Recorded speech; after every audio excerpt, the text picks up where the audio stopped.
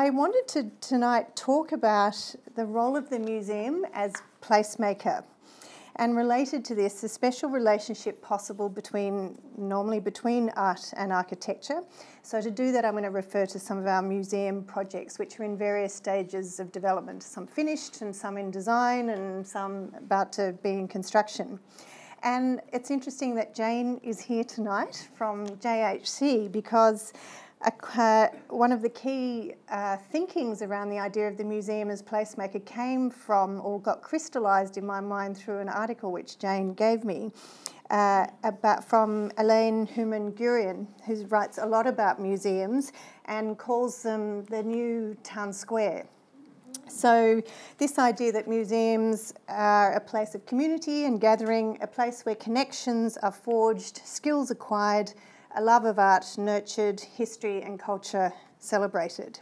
So, it's about uh, obviously the more traditional role of the museum, um, whether it's a gallery or a museum of other type of content, but it also exceeds that with more wide-ranging initiatives, including research, education, things like artists in residence programs, and then of course some commercial programs such as retail and food and so forth that complements that.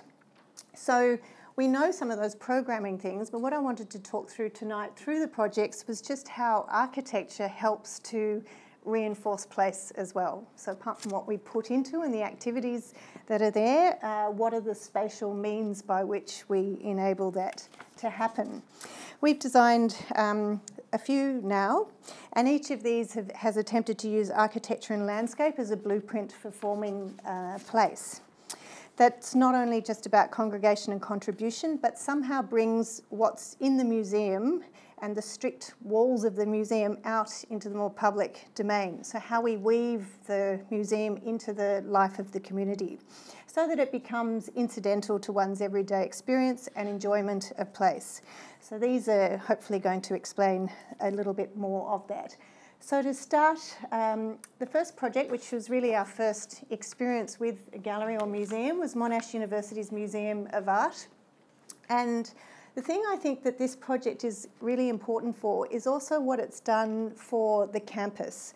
So we see this as a project that even though the official brief was a new museum uh, moving the Clayton from Clayton to Caulfield campus, we also saw it as a chance to really transform the campus and start to repair it. So we talk a lot about how good architecture and landscape can be a way in which you can improve or enhance or regenerate a place. So this was certainly an opportunity. Now, this is what we started with. Uh, so, on the Dandenong Road, as you might all know that road, and this was what we had to begin with. We were working with this curved building here, the ground floor of that, and the competition we won was to do a new museum inside that there was no talk of what might happen here. This was dumpsters, cars, it's not particularly great. So we did think if you're going to do a museum, you've got to do something with the space around it as well. And further to that, that idea of expanding the possibility of the project was also uh, this work by uh, Callum Morton, Silver Screen, which was a really great way to address part of our original brief. Um, the competition brief that time was to do something on the roadside, on Dandenong Road, to make it clear to people that the museum was there, to give it some sort of identity. And after us kind of tinkering and thinking, well, we haven't really got the money to do much, what do you do? A sort of few coloured tiles or something on the wall? It's not really going to do it. And so this is where we thought, why don't we let art speak about the museum rather than architecture? So the commissioning of Callum was a really critical part of the project's success, which you can see here, and which has a lovely link to the, um, the old drive-in cinema um, further down the highway. So it has a nice historic link, and of course Callum has an ongoing interest in that um, type of uh, armature structure as cultural frame.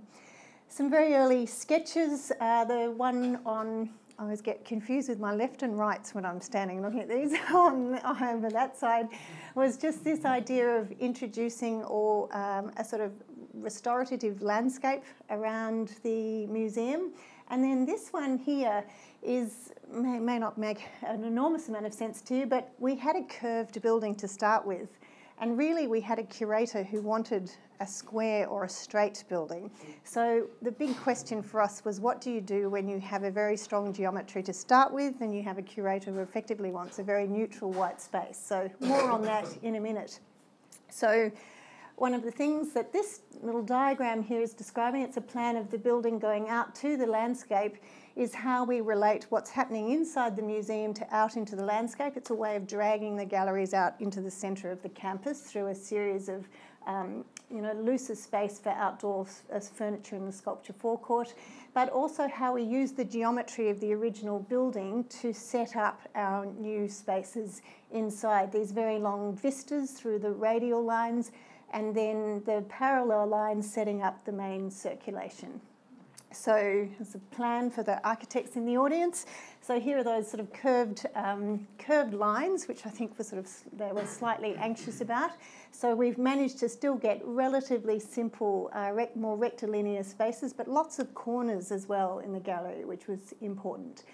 And then there's a great debate about whether uh, museums for art should be white and neutral or whether they should be more expressive. Um, is it the architecture we're there to see or is it the art or can you do both? You know, we all, we've all heard those debates. And in this one, what we decided was funny. Um, Max Delany, who's the curator at the time or director, he gave me an article by an artist, a Swiss artist called Rémy Zaugg, who works a lot with Herzog de Meuron. And this essay was an artist's explanation of what the perfect gallery space would be. And it was all about white walls, white floor, this and that, and nothing to interrupt. And Max said to me, oh, look, you'll find this entertaining. I don't really think this is what we should do, but it's just a bit of background. Well, as the project went on, I realised that there was quite a lot of lessons in that that I think they were hoping would be applied. So, how we resolved it was we decided to keep the central um, corridor, which had all the sort of curving columns and so on, which I think they felt might disrupt the art. We left that as a much more expressive space. It's where you see the original bones of the building, and it's more coloured. You can see the builders servicing, and um, it's almost like the back walls of the perfect white space on the other side, which is the galleries. So it was and this has turned into not just circulation, but also like a looser type of um, project space as well. Then here is in one of the back galleries with one of those big vistas through to the courtyard, which is at the end of that light. And then that very gentle curve that's the reminder of Dandenong Road being on the other side there. Uh, there's another view of that um, pristine gallery and that more expressive circulation space. So also about revealing, you know, the workings behind the scenes of making a gallery space work. So importantly, in terms of that idea of campus repair, what we also did with these very large windows into the museum from the forecourt, it means that even people who uh, never want to actually go inside the museum are somehow reminded or presented by the contents of it. So someone rushing to a lecture on another part of the campus uh, just gets a glimpse inside. And we think that's a really lovely way that it just infiltrates your everyday experience. And similarly, in the forecourt, now that's grown up a bit, these um, lovely sculptures, which change all the time, by the way, and then these platforms for people to just hang out. So that's an example of how um, that the museum has been able to help regenerate the centre of the campus. So next project is the Jewish Holocaust Centre, and uh, this is um, it's so here we have the earlier heritage building. This has a heritage listing on it, and then the project SJB's uh, addition from was this late 80s, early 90s? Yeah, here. So the this is a project which is about sounds dramatic, uh, about increasing, really increasing opportunities for uh, slightly expanded museum offerings, education and research, which are the three main um, purposes of, of the centre. And also, interestingly, what's happened um, in the time that we've been working on this project is that there's been quite a lot of development in the area, and the council is interested in rethinking how Selwyn Street is designed so that there is a kind of precinct um, with the role, with the museum playing a central role within that, uh, within this area. So one of the things we've been interested in is how the museum can, uh, if you like, contribute to that uh, precinct and have a sort of more lively street presence, but also resolve that tension between it being a Holocaust museum, which is a building that the type of building that has high security issues around it, how it resolves that and still has a kind of generosity and a sense of the life inside it from the street. So that's been a key thing we've been exploring. And you know, having looked at a lot of overseas examples, um, typically Holocaust museums have adopted and a type of architecture that tends to be quite closed, certainly to outside. So it's been quite a challenge, but I think, excuse me, a worthwhile one to work through. So some of the key ideas, this little diagram on the left is just the thinking about how we might arrange the activities within the inside of the building uh, in ways so that the, the more um, front of house things and some of the activities like research and admin you might actually less climate sensitive you might actually see from the street so that there's a sense of activities and liveliness inside and the other thing in particular is that even research, the research that happens, that's on the little yellow bit right on the corner, is something you can look into from the street. Again, that um, it's not all hidden. One of the changes we're seeing in lots of museums is that stuff that's normally back of house is starting to become more front of house, so that the hidden assets of a museum are more evident to people passing by and so on. The other part of this is that there's the um, this heritage building, which was in the end it was uh, required to be kept, and so how and that was partly for planning and heritage reasons in terms of urban planning, but we also saw that. Um, the way in which we've treated it, it's almost embedded like an artefact, which is tells something too of the origins of the centre, um, being the first building that was occupied for the museum. So some early uh, renders where it's a very sort of simple new element that's quite neutral and that holds this um, early earliest origin of the museum being the heritage building and that you can see has a sense of um, transparency as you move up so you see a little bit more of what's inside.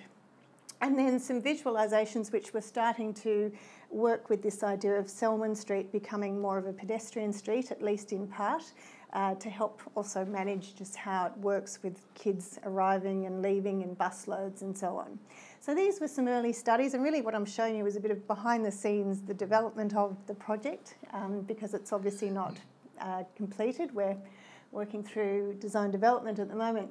But here too, one of the important things is where you have quite internal spaces, typically in, in a museum like this education space here, and then this interest in the circulation of the museum always bringing you back to being in Melbourne, reminding you that you're here. Um, very, very difficult content, very confronting, very upsetting. And so the motive of the garden and these snippets to the, um, to the world outside we thought was quite an important uh, element in the project as you can see in these early renders. So um, similarly that we treated this main entry arrival uh, space as a space that can also double for larger events and openings, just having a bit more space than is currently there. And you can see the garden at the end, which will feature Andrew Rogers and um, sculpture from the front and the eternal flame in the back. So these constantly seeing these links back to garden. The research centre, which is on the street, and the window, the arch window, which links back to the street, so you always have a sense of your neighbourhood when you're in there.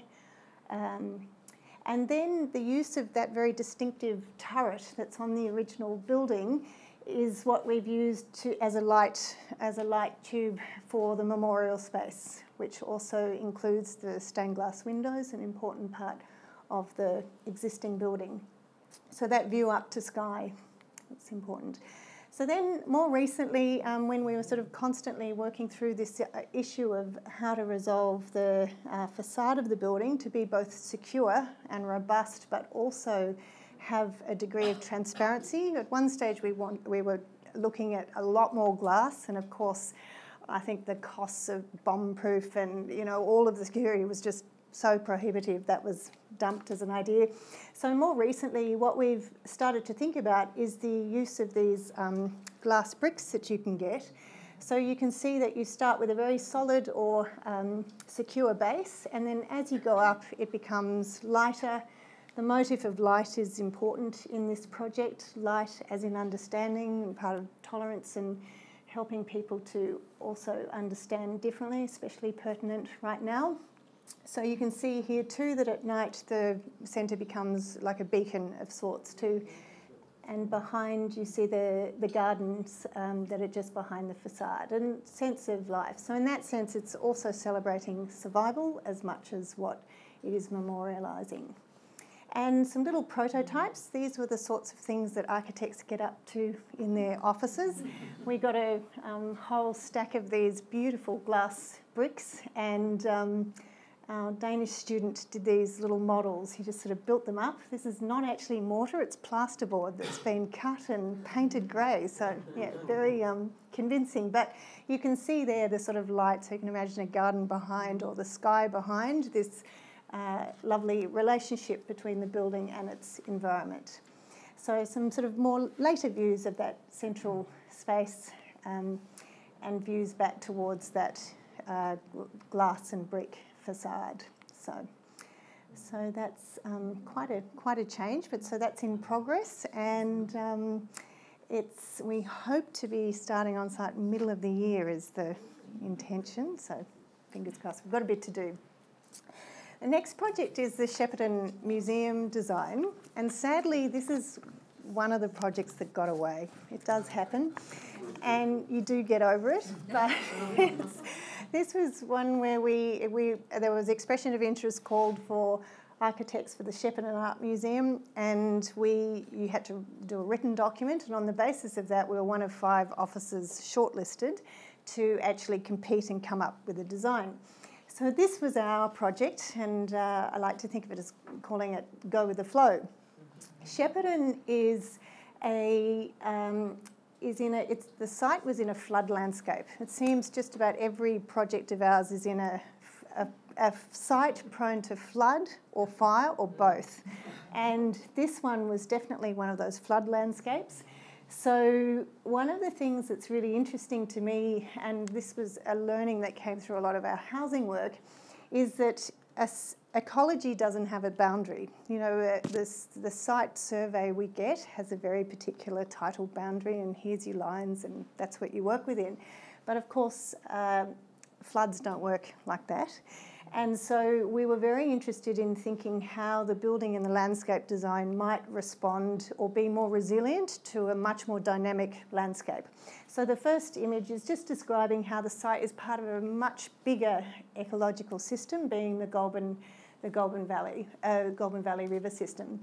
Then, of course, it's what the purpose of the building would be in terms of being a regional centre, so to revitalise it.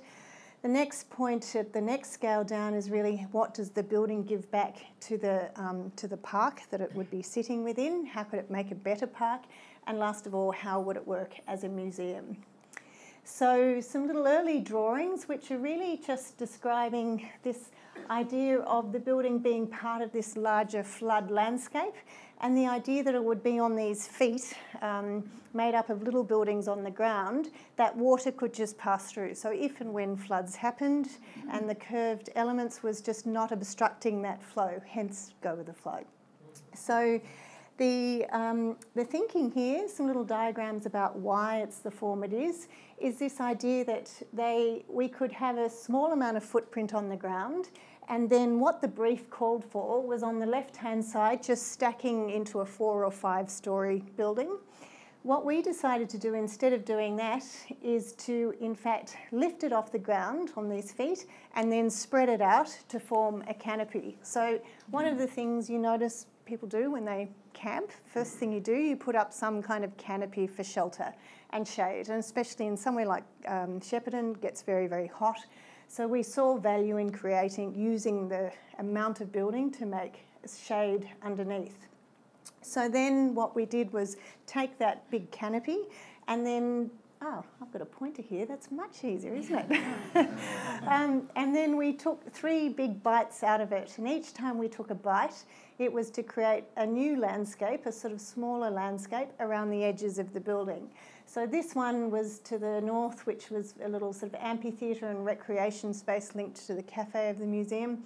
This one was linking more towards the wetland and a sort of more formal area of the wetland.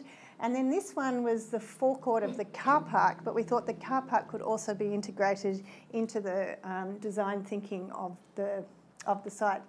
And then, so you get these bites, this scalloped edge, and then internally, when we're inside the museum, where you need a lot of wall, so you get your wall here, and then you've got these very strong views out through these sort of noses to the broader landscape. So again, you're in, you're in the museum, you're lost in museum land, and then you can connect yourself back to where you actually are in your geographic location through those windows.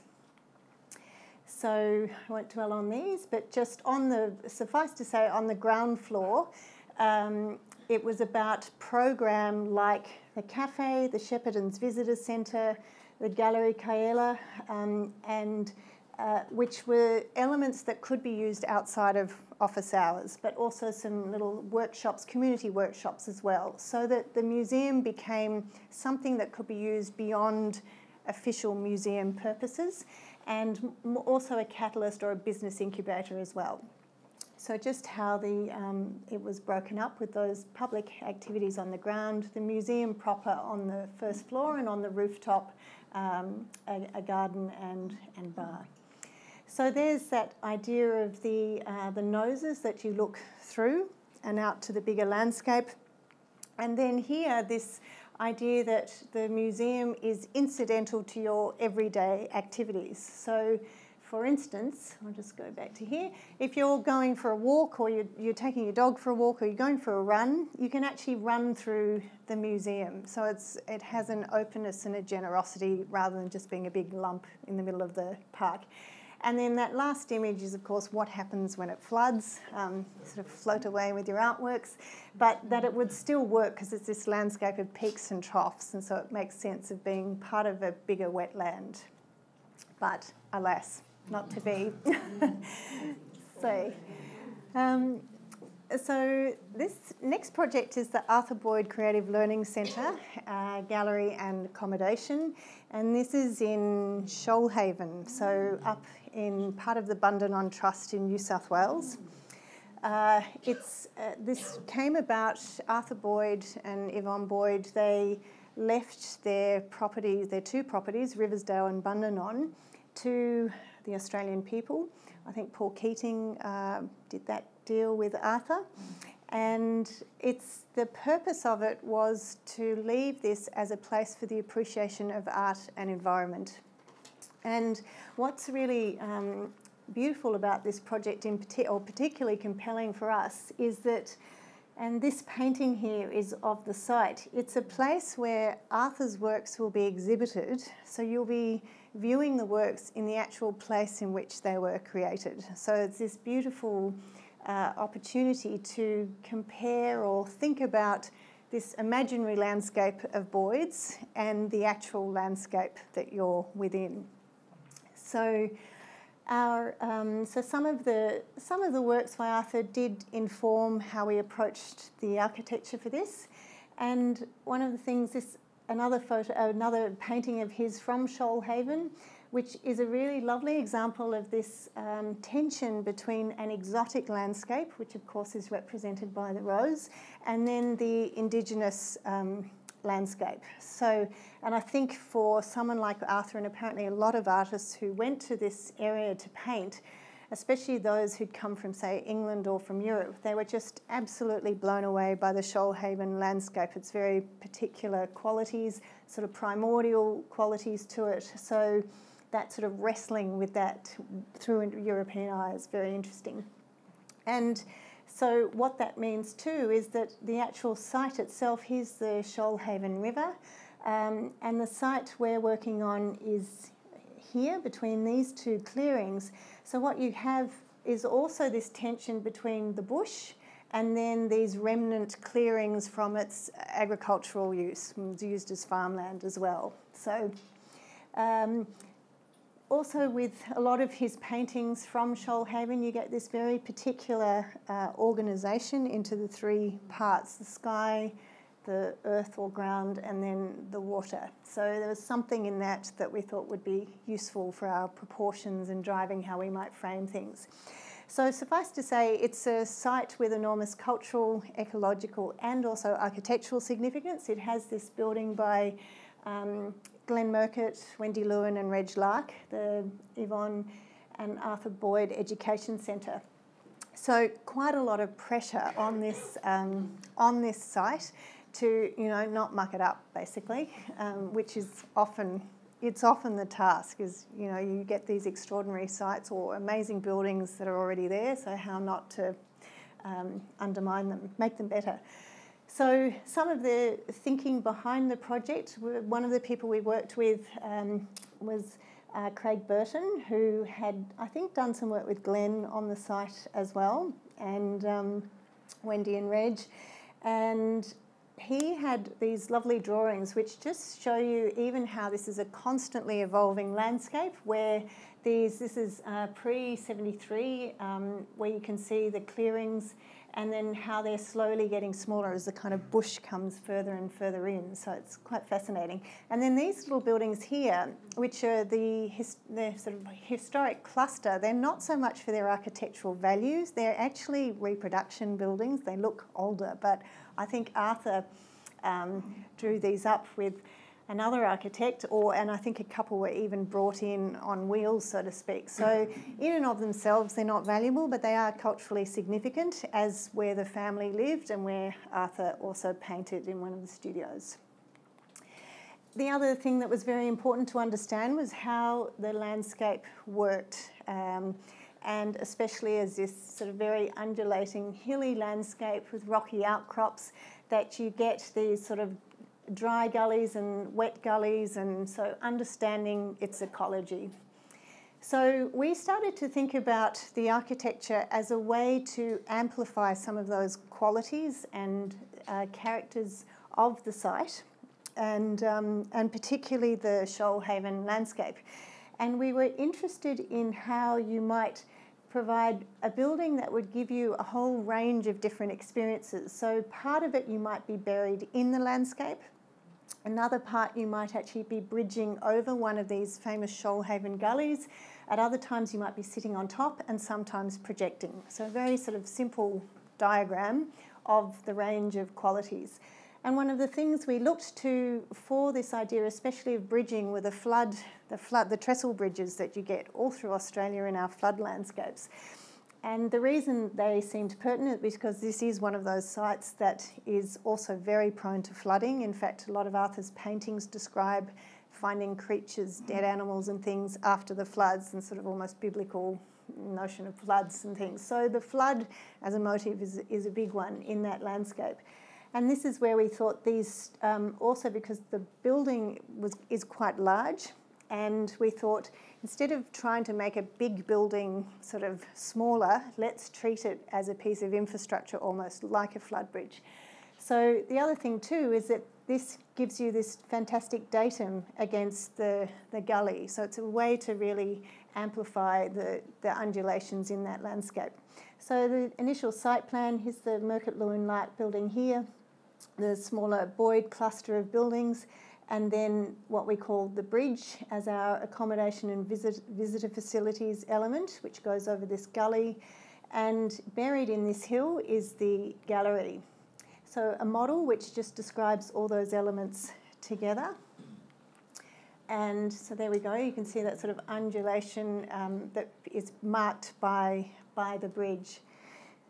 Uh, and interestingly, how that ties into how we thought about the environmental um, performance of the building is if you think about the sort of climate control you need in a gallery, obviously it's a very high standard, especially if you want to borrow works from elsewhere, so it has to be very heavily climatically controlled. Whereas there might be other parts of um, the buildings that could be much more in the spirit of plein air. Again, going back to Arthur, he liked to paint outside in, in the landscape, fully exposed to the elements. So, what we're also interested in offering visitors is that range from a more cl- controlled climate to one that you're much more exposed to. And so, we have um, that's uh, from our uh, environmental engineer just mapping out those different conditions. So, here's the view of the, um, the bridge. And here is this sort of restored gully landscape. At the moment, everything is kind of mown, and you don't really have a sense of the ecology of the site. So, a big part of this, and this is work we did with Megan Wraight, uh, who's a New Zealand landscape architect actually. Um, so, we've worked on a broader landscape master plan, including the restoration of the, the gully. And then this idea of when you arrive, so for the bus drop off for kids, the bridge forms a big veranda where people can gather themselves, get their bags together, be in the shade, and start to look towards the river and, of course, Arthur's famous hill just there.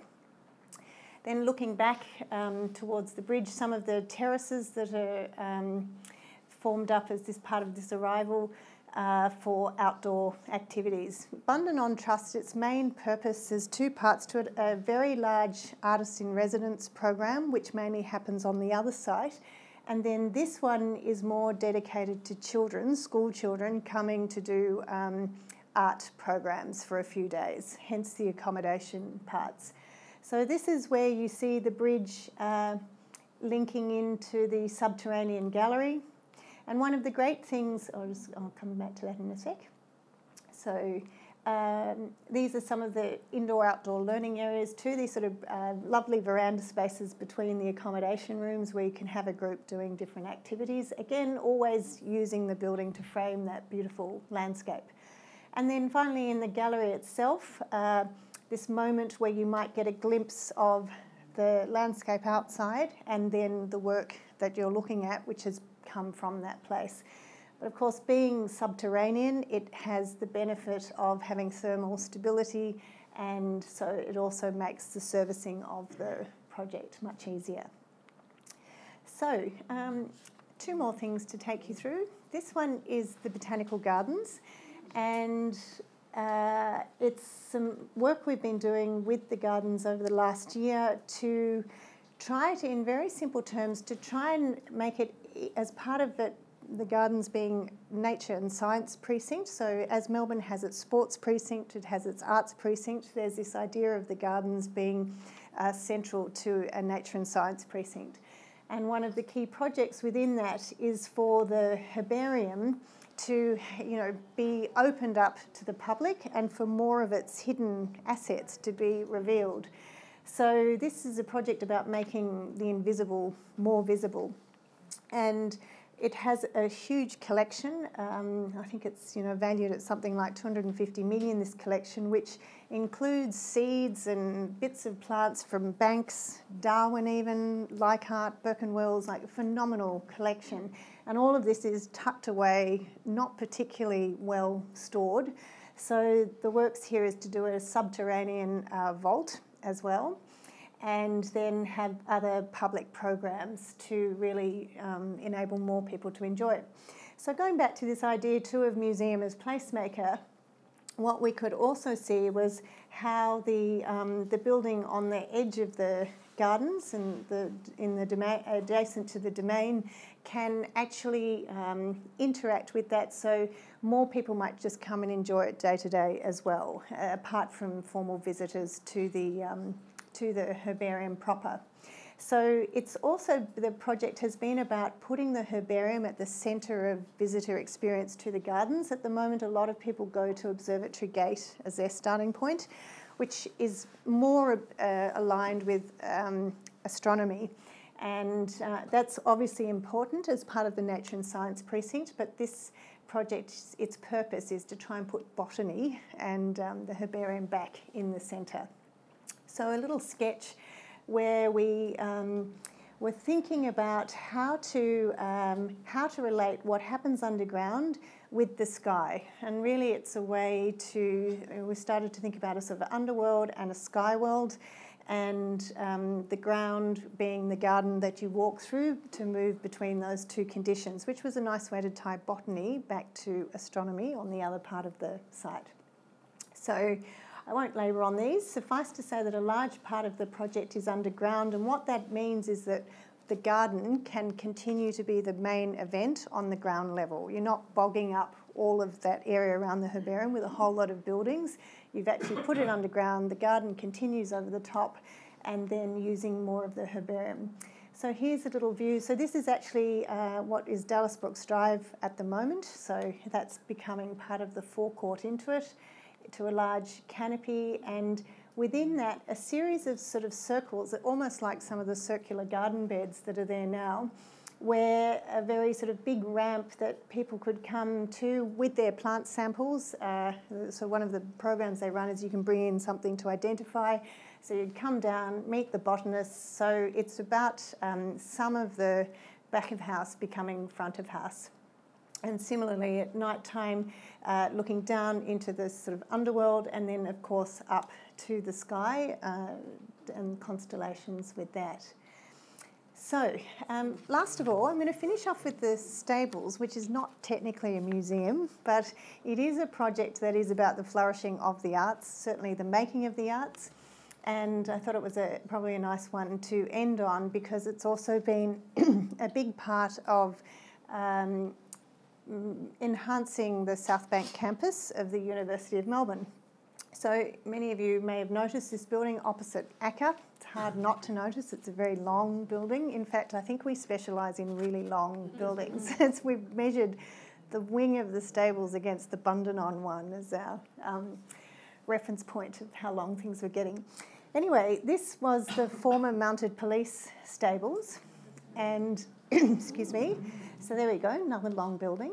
Uh, this wing here was the actual stables. Then there's that lovely octagon on the corner, which was kind of an entry point into the large courtyard. Uh, and then the blue bit was the former riding school.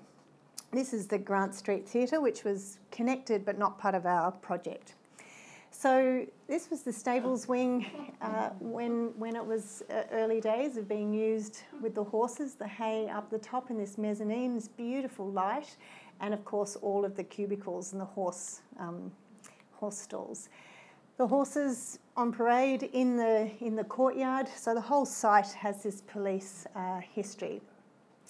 Then more recently, the horses in the riding school, and I think by the time the building got handed over, there'd only been about nine horses there for some, for some time. So this is what we uh, were presented with, and I must say it's another one of those projects where the starting point, the building is just so beautiful. Whether it's um, the previous project with the Boyd one, the landscape's the thing. Here, the the building was extraordinary, and you know, there's part of you that thinks just don't touch it. It's magnificent as it is. So again, how not to muck it up. So. This was um, what it became, and I'll talk through more of that in a minute. And then similarly, the riding school, uh, which became a performing arts um, space. So, and the octagon, uh, events space, studio space down the bottom, and then a sort of fantastic meeting room up the top underneath this lovely lantern, which when the police had been there, um, poor police and aesthetics. It's not a strong, strong connection. They'd put false ceilings and things through there, so you just didn't have any um, any sense of this amazing structure underneath. So. Uh, the thing about this project was it's a real, it's a real case of finding a really good fit between new uses and existing forms that you find. And it's also a case in point of just how much we can do with our existing heritage. So it was a very smart thing to think, yep, these cubicles make good sense for um, art studios. You know, they're already divided into a whole lot of things. And then this is a big clear space, makes perfect sense for a performing arts space. And then, of course, the distinctiveness of the octagon of very handsome front of house. And the fit was one horse got us two students per, per horse stall. So it was a really um, a sort of really easy way to, to fit. Uh, you know, a lot of the hard work had been done. And um, it was very, very smart. I think who, it was who identified this building as the place for uh, VCA School of Art. So, to do this work, it did involve the whole range or a spectrum of interventions from uh, restoration of the most significant parts of the heritage fabric. It was a building with a very high uh, um, registration of significance. And then it also meant sometimes having to cut or remove and in this instance to create these doors onto Dodd Street and also to add things as well. So, so just very quickly, this was the original that we started with, and you can see these very big voids that's part of that. So then what we did, we decided this part had the most intact uh, horse stalls and architectural details, whereas there'd been interventions in lots of the wings before. So this bit we called the heritage slice, and it's where we decided to restore as much as possible um, so you could really understand the original fabric in that section of the building. And that's what you see here. It's where we reinstated all of the flooring. This continues all the way underneath the timber floor. It's just that for this to be usable for art students and to have trolleys going up and down and to make it level, horses are happy on an angle, students weren't, normal staff. So there's an enormous amount of work in a project like this you never actually see. It's just behind. And the other idea with these sorts of projects is that everything is reversible. So the works we've done could be taken away and you could go back to the original fabric. So, so what we ended up with was in this heritage area is where we kept the largest of the voids, and this is where the staff offices are, and the main stair linking the top and bottom floors. Um, so there's some staff in their offices. One of the things you might remember in that early shot of the when it was the horses, the cages on the side, and Heritage Victoria really wanted us to keep those um, because it was original part of the fabric. And the staff were just like, we look, we can cope with the Mr. Ed door having to stay, but we just really can't abide those metal cages. So fair enough, they um, they were not pursued. Similar, again, little details under each of the horse stalls, these beautiful uh, t- um, brick pavers, which all had to be levelled, reinstated, and then put back, and then a covering over the top. So again, you don't see these except for a couple of spots, but they're all there. So, and you can see the builders have numbered all of these. So just enormous amount of effort in that. Then this whole thing, the blue bits are where we cut or took away. Again, with heritage work, Sometimes it's about what you take away rather than what you add that's the most important thing you can do. So the cuts I've talked about for the entries, and then the revealing of this beautiful existing structure that was there. And what we did, this is on the top floor, this is what was almost like the Knights of the Round Table um, table here, we put an oculus in this section, which from underneath you can look up to, from the entry up to that beautiful uh, skylight. So then was what we added. Now this is sort of where it got more contentious because we needed more floor area than there already was. And so what we decided to do was actually fill in some of the voids, not all of them, um, to create additional studios up the top. What was good about doing that was that even though it seemed counterintuitive to fill in some of the void, is because under the void you got the beautiful clerestory light, for, perfect for painting and drawing. And we also had very, these mezzanine ceiling heights were very low. They didn't comply anymore. So we thought, why don't we just put our walking circulation to this edge, which had just enough clearance, and instead of putting the studios in that under the heat of the roof, this just made much more sense to put them in that. So some little diagrams around that. I won't labour these. So just to take you for a walk through how it's working now, um, here you can see to clear that head height, we peeled the floor up to stop people hitting their heads on this and turned this into a folio bench. And now you can just see how students are occupying it. So it's, um, oh, okay, I'll come back to that.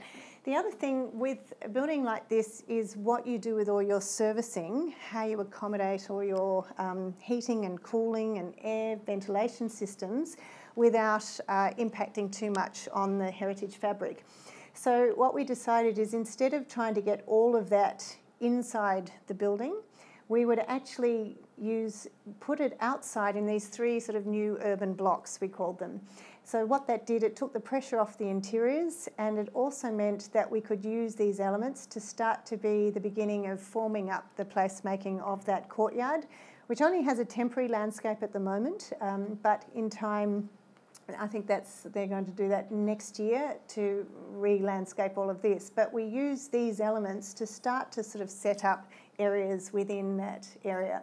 So this is our lift. Imagine if we tried to put that in there. So by pulling it out and connecting it with the breezeway helped. This block services the Performing Arts Centre, and here we lifted it off the ground, so that's created a little cafe, barbecue space underneath. So it's using something like services to actually have some sort of civic impact, if you like. There you can see there's the canopy, which um, protects people waiting to go into the Performing Arts Centre. And there. Um, one other thing that's important about this project is how, uh, this is particularly with education work we're finding, how easily the spaces can adapt to do very different things. So the school works as day to day has to work as studio spaces, it's where art is being made, and then very regularly, though, they have exhibitions. And in the past, they'd had to have, um, you know, constantly schlep walls from a shed down the back and uh, all these OH&S issues of people moving temporary walls and they're not very stable and so on. So we actually played with the geometry of the building to have sliding walls and these pieces of the pie that could arrange the spaces in very different ways. So here we have Ben from the office in action moving those walls around. And the different sort of uses. Sometimes they're like a little seminar or a crit session where people stand around, and other times it's used as gallery space or events, or you can have more bays open and make it like a little lecture theatre. Similarly, in the art studios as well, lots of moving panels so you can change the way in which things are exhibited or the how many bigger spaces, smaller spaces for exhibition. So again, here's our new walls that went over the top of the original horse stalls. So you can, you can still see the original fabric with these new white walls there. Now, something people often ask me is, um, how did you get to paint it white with heritage?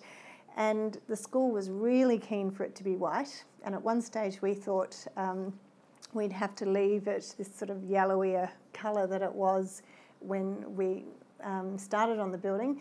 Turns out through paint scrapings that originally it was like a white lime wash, so everybody was happy. but here you can see this is day to day where people are in their studios and then sort of spilling out into these areas more for their um, sort of review times. And I've seen classes happening around here. So this is what people start with. They just get their white space, neat little bit of furniture and then this fantastic explosion of activity and creative endeavour that means each of those just tells you so much about the person working in there, their approach to practice. So it's a really beautiful index of all the different ways people use and take over space. And I sort of I find it fascinating how some people put these barriers up and other people are really happy to be open. Some are messy, some are neat. It's um, it's really really interesting study so similarly upstairs, these are the upstairs ones underneath the clerestory. That's what they start with. And then again, a survey of the different um, ways in which they've been used is fascinating. So just a final little walk around. I love from the body language, you know, you sort of know what this person is probably going through from that, that posture. And then it's also nice how people walking past can sort of glance in. So it's always working as a as a um, as a gallery of sorts. Um, just doing what you do in art school. uh, so all of the different practices, and it seems to work. You know, whether you're painting or making installations or whatever. So these later later images are of the final exhibition at the end of the year, which I think Charles was saying you'd been to um, and seeing those horse stables use that. And for the final show, uh, how it is in exhibition mode. So it's really amazing to see it from this um, cacophony of things most of the time, and then it all gets cleaned up and the exhibition happens. These are works by Maximilian Harley, I think is his name. So there it is for exhibition mode with these walls um, in the centre as opposed to on the side. And to finish, um, here's just, I love the posture of these people. Someone who teaches quite a lot, you just have, again, have a really strong sense of the sort of conversation that's happening there, this kind of contemplation. So that's it from me. I just wanted to finish by um, just reiterating how all of these projects obviously deal with the purpose of um, holding spaces for the making of art, but also they're sort of repositories of sorts, but also that they give something back to their bigger landscape, whether it's a campus or a beautiful rural scape or uh, in urban streetscape. So thank you.